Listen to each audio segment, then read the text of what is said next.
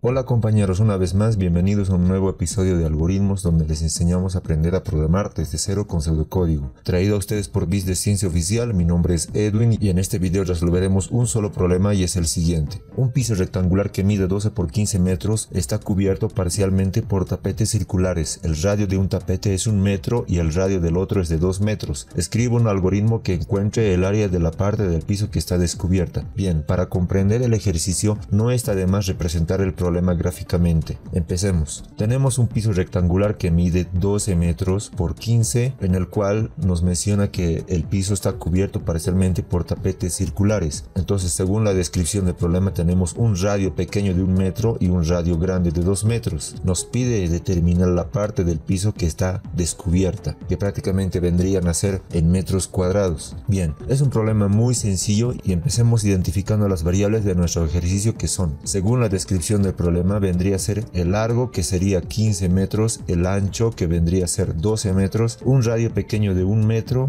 un radio grande de 2 metros y por último el área descubierta. Bien, entonces identificamos hasta ahora 5 variables y ya con esto prosigamos. Comenzaremos dando nombre a nuestro programa que será algoritmo área descubierta tapete versión 1.0. Entonces a modo de comentario pondremos las variables que ya identificamos que son el largo con L, el ancho con A, radio grande RG, radio pequeño como RP y área descubierta como área. Ya teniendo esto, entonces definimos las variables. Definir L, A, RP, área como número real. Ya con todo esto comencemos a escribir nuestro algoritmo. Ahora sí, vamos a pedir al usuario que nos introduzca el largo del piso del tapete. Escribir inserte el largo del piso y lo vamos a guardar dentro de nuestra variable L. Luego preguntamos al usuario la otra variable de ancho que es 12. Inserte el ancho del piso y lo guardamos dentro de nuestra variable A de ancho. Luego lanzamos otra vez al usuario la otra variable que es el radio del tapete grande. Escribir inserte el radio del tapete grande. Lo guardamos dentro de nuestra variable rg. Lanzamos otra vez al usuario la otra variable que es el radio del tapete pequeño. Escribir inserte el radio del tapete pequeño. Y luego esto guardamos dentro de nuestra variable rp de radio pequeño. Bien, ahora daremos un poco de aspecto visual a nuestro programa y hacerlo más estético. Vamos a insertarle líneas para que no se vea muy agrupado. Escribir líneas. Bien, prosigamos escribiendo la parte más importante de nuestro programa que es la parte de procesos. Entonces creamos una ecuación por simple razonamiento que nos permite determinar el área de la parte descubierta. El área no es más que las dimensiones o el área de nuestro tapete rectángulo de 12 por 15 metros menos, en este caso aplicamos simplemente el área de círculos. Cualquier área de un círculo vendría a ser pi por radio al cuadrado. Entonces, y para este caso aplicamos pi por radio grande al cuadrado menos pi por radio pequeño al cuadrado. Fácil. Es decir, largo por ancho menos pi por rg al cuadrado menos pi por rp al cuadrado lo guardamos dentro de nuestra variable área. Bien, como vieron ya tenemos la fórmula que nos determinará el área. Entonces luego, ahora lo que sigue es la parte final de nuestro programa que se denomina salida de datos, que en otras palabras es mostrar en la pantalla los resultados. Para esto lanzamos al usuario un mensaje que nos muestre el resultado que vendría a ser el área descubierta. Entonces escribir el área de la parte descubierta en metros cuadrados es y concatenamos con la variable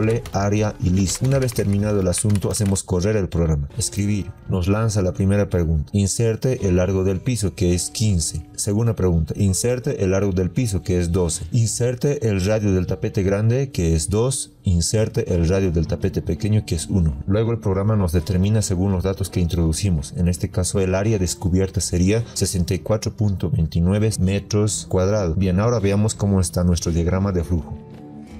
Recuerden que todo esto, tanto el algoritmo y el diagrama de flujo, están en la página oficial del canal que los dejaré en la descripción. Listo, eso fue todo. El programa realmente funciona. Recuerden apoyar los videos de nuestro canal Biz de Ciencia dándole me gusta y suscribiéndote al canal y activando también la campanita de notificaciones. Muy importante para recibir notificaciones sobre cuando subimos un nuevo video. Les mando un saludo y nos vemos en el próximo video.